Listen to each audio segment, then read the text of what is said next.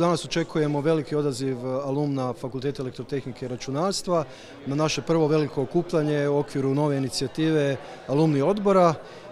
Predstavljamo naše aktivnosti kroz četiri smjera, to su mentorstvo alumni zajednice, povezivanje čvršće alumni zajednice, intenzivnije pozicioniranje fakulteta u međunarodnoj, na međunarodnoj sceni i formiranje zaklade za nadarene i potrebite studente. Također ćemo danas prezentirati i nekoliko tema, istraživačkih i profesionalnih tema aktualnih za našu profesionalnu zajednicu, a predstavit će ih neki od naših mlađih ili starijih nastavnika sa Fakulteta elektrotehnike i računarstva.